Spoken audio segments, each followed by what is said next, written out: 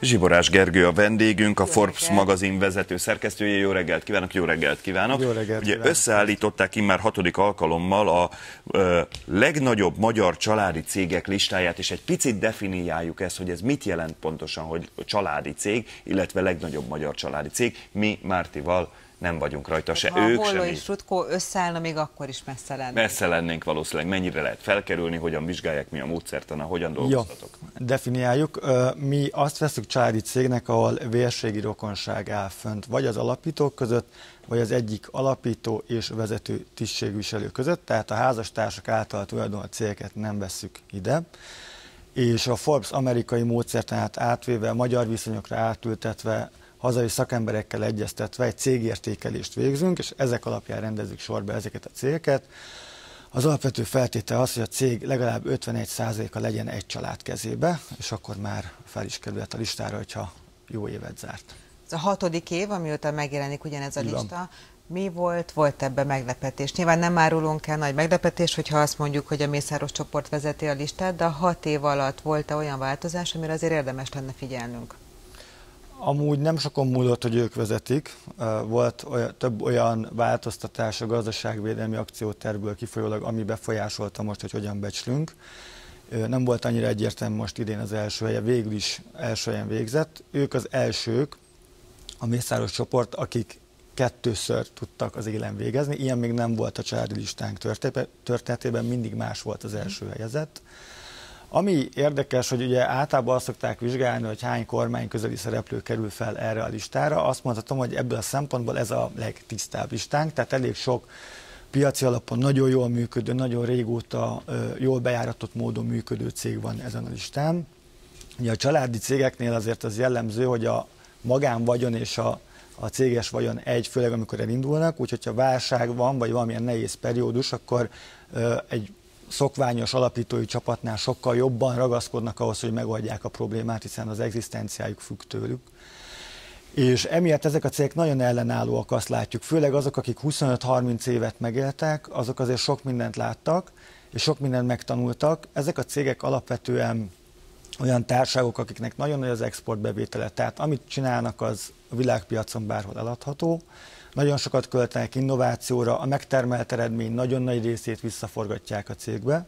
Tehát döntő többségben olyan mintacégek alkották, alkotják ezt a listát, ami nagyon jó példa lehet más cégek számára is. Hadd kérdezek rá a módszertanra egy pillanatra. A férj és feleség egyébként miért nem egy? Tehát én ismerek olyan csokoládé manufaktúrát, ahol minden a férj és minden a feleség, és csak közös munkával hozzák össze. Ennek mi az oka, hogy így Módszertani oka van, nagyon nehéz lett volna, tehát egy nagyon-nagyon nagy halmazból tudtunk volna válogatni. Nagyon sokszor a feleség az csak névleg van bent a társaságban, ezt cégadatokból nyersen nem mindig látjuk. Vagy a férj. Tehát személyesen, vagy, vagy a férj.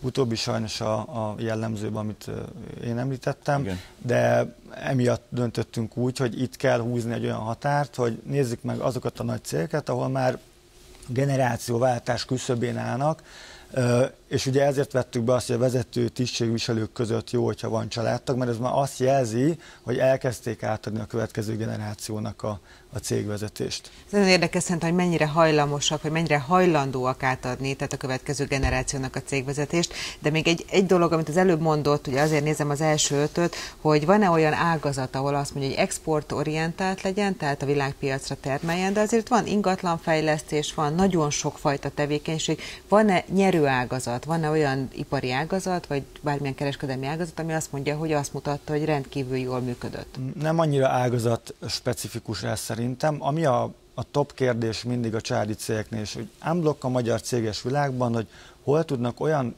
tudásbázist felépíteni, ami aztán a cégnek a termelékenységét hosszú távon befolyásolja, és olyan termékekhez vagy szolgáltatásokhoz vezet, ami aztán a világpiacon értékesíthető. Szerintem ez a kulcs. Ilyet látunk amúgy az egészségiparban, ugye a 77 Elektronika az egy kiemelten nagyszerű cége a, a, ennek a listának is, de az összes más listánknak is például. Azt látjuk, hogy azért a, a Bonafarmban is van ilyen jellegű tevékenység, ugye mezőgazdaságban, minden ágazatban van erre lehetőség. Ami nagyon jól szerepel, hogy az agrárium az, az azért rendre ott van, például a, a, az élmezőnyben, gyártás is, ezeknek a jelentősége amúgy csökken például. Ha már itt a trendreket kérdeztétek az előbb, az például érdekes, hogy az autóipar átlakulásával hogyan veszti jelentőségét sok beszállító. Igen, hiszen úgy tűnné, hogy azok közül kinőhet, de ezek szerint nem, mert az pedig éppen változik. Nem, nem fog élni senki, tehát ezek nagyon jól működő patentcégek, viszont egyre kevesebb az a nagy cég, aki megvenné őket, tehát az értékük csökken, méghozzá sok helyen azért, mert az a tudásbázis nincs meg, amivel újabb irányokba el tudnának indulni. Gergő, nézzük akkor meg önmagában a, a magyar riporter kérdését, aki most én leszek, mi a matek, tehát mennyivel eh, lehet felkerülni erre a listára, illetve a Mészáros család, kiknek ezúton is szívből gratulálok, mennyivel szerepelnek ott a lista élén? A Mészáros család most 250 milliárd fölötti eredménnyel zárt. Uh-huh. Nagyjából, a jól emlékszem, hogy 20%-kal zártak a tavalyi alatt. Ennek két oka van.